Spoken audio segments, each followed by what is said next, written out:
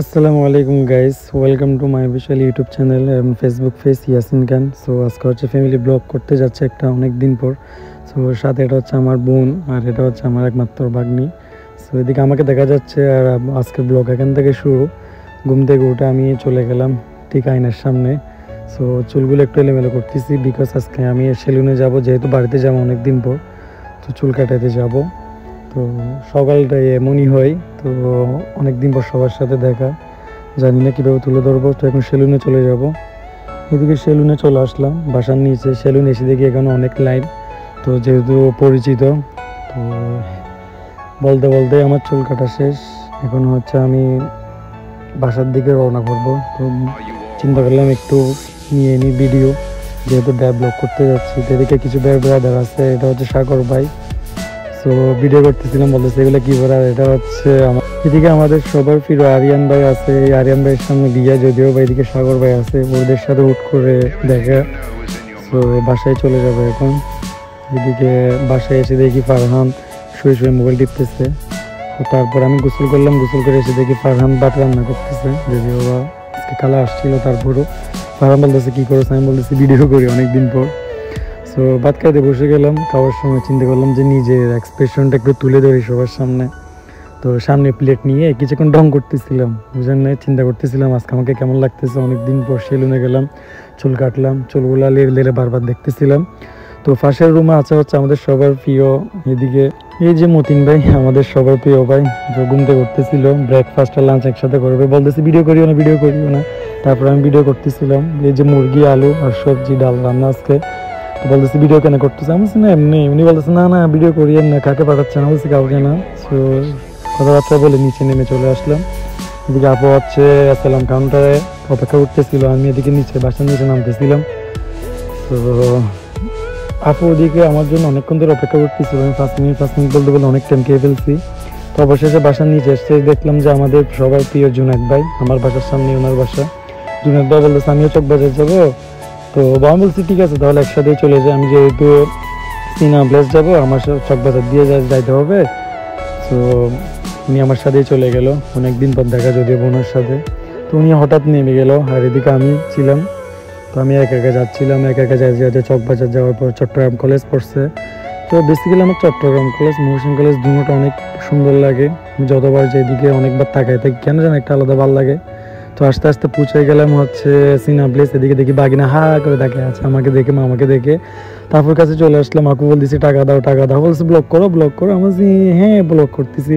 তো এদিকে পাঁচশো টাকা নিয়ে নিলাম আফু থেকে সিএনজি ভাড়া দিলাম আফুর টাকা দিয়ে। মামাকে সিএনজি ভাড়া দেওয়া, আবার বাকি টাকা আফুকে ফেরত দিলাম। আফু নিয়ে কি করতেছে আসলাম টিকিট কাটতেছিল। তো টিকিট কেটে এদিকে আমি হচ্ছে স্যারের সাথে আবার দুষ্টামি করতেছিলাম। বলতেছি, কি করো?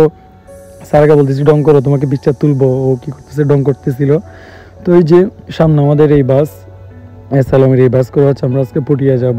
সো অনেক দিন পর হচ্ছে আমি বাড়িতে যাচ্ছি, আজকে প্রায় অনেক মাস পর হাফুকে নিয়ে যাচ্ছি। তাও এটা হচ্ছে সিনা প্লেস এসালাম কাউন্টার আমরা পটিয়া হচ্ছে এই জায়গা থেকে যাই। যদিও বা নতুন বীজ থেকে যাওয়া হয়, তারপরে এই জায়গা থেকে যাই। এটাই হচ্ছে আমাদের এসালাম বাস।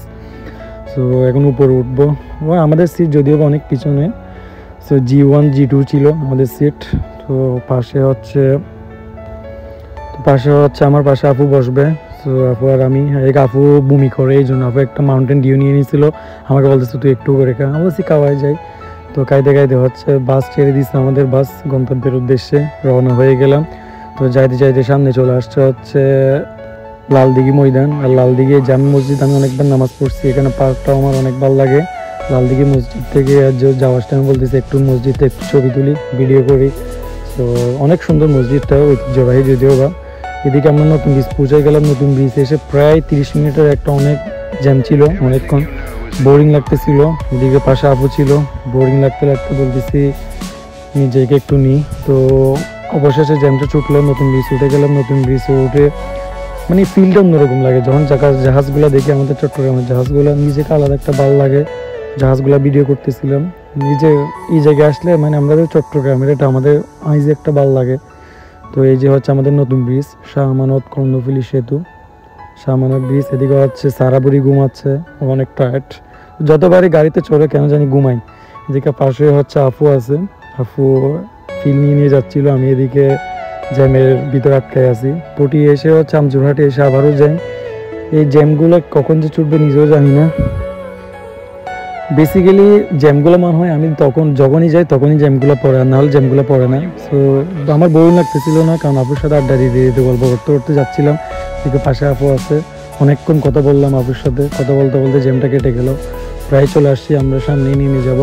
আমরা হচ্ছে একটু আগে ফুটিয়ার আগে নামবো, যেহেতু আব্বু কল দিছে কিছু পর্দা কিনবো এই জন্য।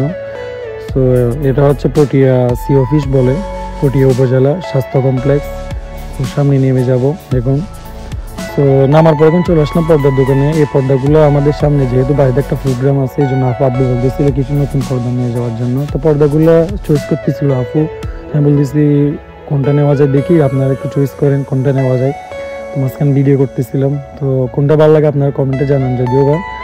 তো পরে যদিও বা নিয়ে নিলাম। আমি আর আফু চয়েস করছিল। এই, এটা হচ্ছে আব্বু চয়েস করছিল, এই জন্য নিলাম। তারপর আমি একটা চয়েস করছি।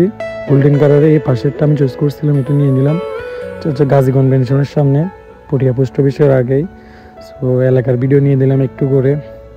এই এটা হচ্ছে আমাদের পটিয়া থানার মোড়, আর এটা হচ্ছে আমির ভান্ডার গেট এই, এটা দিয়ে হচ্ছে পটিয়া সবুর রোড এক নামে পরিচিত। সামনে হচ্ছে এটা পটিয়া থানা, আর এটা হচ্ছে রোড পটিয়া থানাটা একদম রোডের পাশে আমরা আমাদের পটিয়া থানা দেখতে দেখছে ফিল নিয়ে নিয়ে এটা হচ্ছে রাহাতালি স্কুল আর সামনে হচ্ছে পটিয়া কলেজ গেট কলেজ আছে সামনে। মানে অন্যরকম লাগে, যখন নিজের এলাকায় আসি মানে ফিল্ডটা আলাদা লাগে, আছে ওটা পটিয়া কলেজ গেট কলেজের মাঠ, অনেক বড়। এদিকে সারা বুড়ি ডং করতেছিল, আবু বলতেছিল, দেখো দেখো, মামা কি করে ডং করতে করতে চলে যাচ্ছিলাম। বাড়ির উদ্দেশ্যে রওনা করব। তো আপু বলতেছে, কিছু ফ্রুট নেওয়া দরকার, এই জন্য হচ্ছে ফ্রুটের দোকানে চলে আসলাম। কিছু ফ্রুট নিব, যদিও বা আপু শহর থেকে অনেকগুলো নিছিল।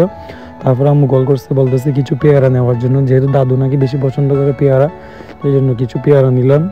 তো এই যে এগুলাই আর কি। তবে গাড়িতে টামাই আপু দুই কেজি পেয়ারা নিছে। পেয়ারা ভালোই। এদিকে আমি হচ্ছে সারাবুরির সাথে ডং করতেছি, এদিকে আপু পেয়ারা নিচ্ছে। সারাপুরি হচ্ছে ক্যামেরার সামনে ভালোই ডং করে। সারাদিন কার্টুন দেখে তো কার্টুন দেখে দেখে এগুলো শিখে। তো পেয়ারা, এগুলো হচ্ছে ফ্রুটের দোকান। ফ্রুটের দোকান পেয়ারা নেওয়া শেষ আমাদের। ওখানে হচ্ছে চলে যাব। এগুলো হচ্ছে, এটা হচ্ছে ডাক বাংলার মোড়। অনেকগুলো ফ্রুটের দোকান এখানে, যদিও বা আর সামনে যে ডাক বাংলা মোড় যেটা আছে, এটা হচ্ছে পটিয়া, এটা হচ্ছে আমাদের রিক্সাওয়ালা ভাই, মোটর রিক্সা যদিও বা। তো আপু হচ্ছে পেয়ারা নিয়ে চলে আসছে, বলতেছে চলো চলো, অনেক লেট হয়ে গেছে। তো এটা হচ্ছে ডাক বাংলা আল জামাল ইসলামা পটিয়া মাদ্রাসা সেই মাদ্রাসা হচ্ছে আমি হাফেজ হয়েছিলাম। সো এটাতে আমার অনেক অনেক ইতিহাস জড়ে আছে, এই মাদ্রাসায় আমার অনেক ইতিহাস আছে। সো যেহেতু আমি হাফেজ হয়েছিলাম, এটা হচ্ছে পটিয়া সরকারি জামে মসজিদ, সামনে হচ্ছে Patiya college. So Patiya college হচ্ছে এটা। আর আমরা ভিউ দেখতে দেখতে এটা হচ্ছে পটিয়া বাস স্ট্যান্ড আমরা হচ্ছে এলাকার ভিউ দেখতে দেখতে রুটের ভিউ দেখতে দেখতে হচ্ছে চলে যাচ্ছিলাম। সামনে হচ্ছে এসএলএম কলেজ এটি স্কুল এই বড় যে বিল্ডিংটা দেখতেছেন, এটা হচ্ছে এসএলএম স্কুল অ্যান্ড কলেজ হচ্ছে। সো ডান পাশে হচ্ছে এটা এসএলএম কাউন্টার বাস স্ট্যান্ড তো এটাই, আর আমার বাম পাশে এখন যেটা দেখবেন, এটা হচ্ছে পটিয়া পৌরসভা অফিস তো নিজের এলাকার ভিডিও সবগুলো ভিডিওতে নিয়ে নিলাম, কেন জানি আলাদা একটা নিজের ভালো লাগে, এই জন্য। এটা হচ্ছে পটিয়া ফায়ার সার্ভিস আমাদের পটিয়ার একটা জিনিস ভালো লাগে সব কিছু হচ্ছে আমাদের রুটের পাশে। তো এটা হচ্ছে পটিয়া শাহচানাউলিয়া মাদ্রাসা যেটা হচ্ছে মাদ্রাসার গেট শাহচানাউলিয়া মাদ্রাসা দরগা। তো এটা হচ্ছে মাদ্রাসা গেটের সামনে, আর এটা হচ্ছে আমাদের এলাকায় যাইতে ঠিক সামনে। মানে আমরা সকালে বের, দুপুরবেলা বেরোচ্ছিলাম আস্তে আস্তে প্রায় সন্ধ্যা হয়ে গেছে মাগরিব আজান দিয়ে দিচ্ছে এটা হচ্ছে পটিয়া বাইপাসের মোড়, আমাদের ঘরের সামনে একদম। তো আমরা অলমোস্ট চলে আসছি। তো এটা হচ্ছে আমাদের এলাকার গেট যেহেতু আমাদের একটা বাড়িতে প্রোগ্রাম হবে উরুষ হবে উরুষের গেট তবুও তার যদিও তার এখানে হচ্ছে আম্মু হচ্ছে বুড়িকে পেয়ে অনেক খুশি। আম্মু ওকে অনেক আদর করতেছিল অনেক দিন পর হচ্ছে বুড়িকে পাইছে। তো আমি হচ্ছে নিজে নিজে হচ্ছে চিপসগুলো খাচ্ছিলাম, আম্মু বুড়িকে আদর করতেছিল। এই সুযোগে হচ্ছে আমি সারা বুড়ির চিপস সবগুলো খেয়ে ফেলতেছিলাম। ও নিজেও জানে না। আমি বলছি, অনেক মজা। যদিও আবার আমি একজন চিপস লাভার আমি অনেক চিপস খাই। আমার বাসায় অলওয়েজ চিপস থাকে। তো আমি কি করতেছি? সারাবুড়ির চিপসগুলো খেয়ে ফেলতেছি। আম্মু ওদিকে সারাবুড়িকে আদর করতেছে। এদিকে দাদু নামাজ পড়ে বের হয়েছে নামাজ পড়ে বের হয়ে আপুকে জড়াদড়ি করতেছে। আমার সাথেও করছিল। অনেকদিন পর দাদুর সাথে দেখা। দাদুকে অনেক মিস করি, যদিও বা পটিয়া বাসায় দাদুর তেমন যাওয়া হয় না, শহরের বাসায় আসা হয় না।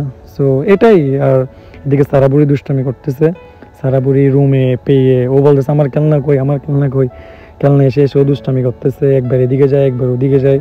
এগুলাই আর কি। আর তার মাঝখানে আব্বুর সাথে দেখা হয়ে গেছিল একবার রুটে যদিও এটা বলা হয় না রুট আব্বুর সাথে দেখা হয়েছিল। আব্বু একটা মিটিংয়ের কারণে বেশিক্ষণ টাইম দিতে পারে নাই। আর এটা হচ্ছে আমি। সো আমি আর কি করি, একটু আইনের সামনে নিজেকে ডং করি। বলতেছি, দেখি আমাকে কেমন লাগে। চুলগুলো আসলে শ্যাম্পু দেওয়ার কারণে একটু বেশি দুষ্টামি করতেছিল। এটাই আর কি, আর সারা বুড়ি এদিকে খেলতেছে। ও অনেকদিন পর নানু বাসায়। ও অনেক খেলে আমার, আমাদের বাসায় আসলে। এদিকে আম্মু হচ্ছে আমাদেরকে নুডলস বানায় করে দিচ্ছে বলতেছে, তোমরা নুডলস খাইতে আসো, নুডলস খাও। সো নুডলস খাচ্ছিলাম। সো ভালোই লাগে আম্মুর খাবার অনেকদিন পর, চনা এগুলো হচ্ছে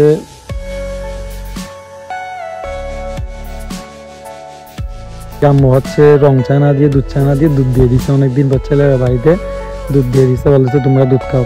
এদিকে দাদু দেখতেছি। মানে দাদুকে দেখলে আলাদা একটা মন- মনে শান্তি চলে আসে। আপু কি যেন আনছে, দাদুকে দেখাচ্ছে, বলতেছে, এগুলো খাও তুমি, তোমার জন্য আনছি। দাদু এগুলো দেখতেছে। তো সবাই আমার দাদুর জন্য দোয়া করবেন। আর এদিকে আমি শুয়ে আছি, শুয়ে চিন্তা করতেছি। মানে বাড়িতে আসলে একলা একলা একরকম লাগে।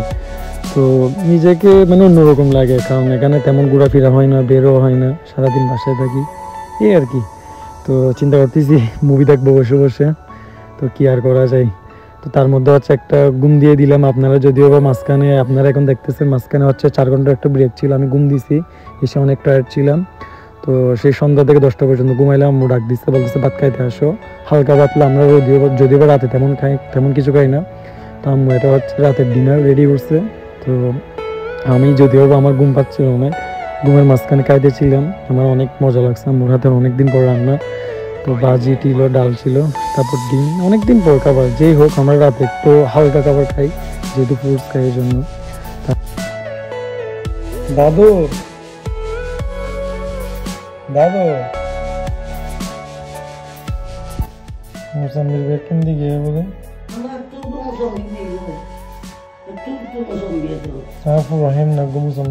আরে লাগি আরে লোকাল ভাই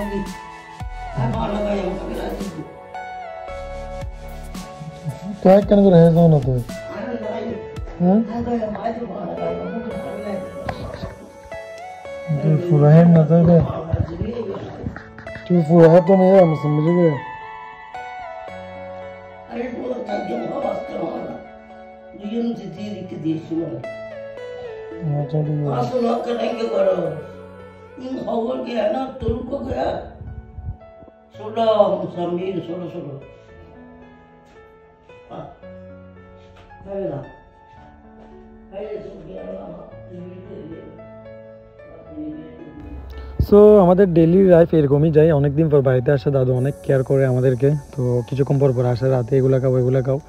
সো আজকে হচ্ছে আটটা আঠাশে জানুয়ারি, আর কালকে হচ্ছে উনতিরিশ তারিখ, নানুর আসবে। যদি কি ভিডিও করতে পারে, আপনাদেরকে শেয়ার করব। আর পরশু দিন হচ্ছে আমাদের বাড়িতে একটা প্রোগ্রাম আছে, এলাকায় উরুষ আছে। আপনাদের সাথে শেয়ার করতে পারি, মতো দোয়া করবেন। তো আজকে ডেলি লাইফ হচ্ছে আমার এটাই ফ্যামিলির সাথে ব্লগটা অনেক ভালো গেছে, সবাইকে শেয়ার করলাম। ভালো লাগলে অবশ্যই দোয়া করবেন। আল্লাহ হাফেজ বাই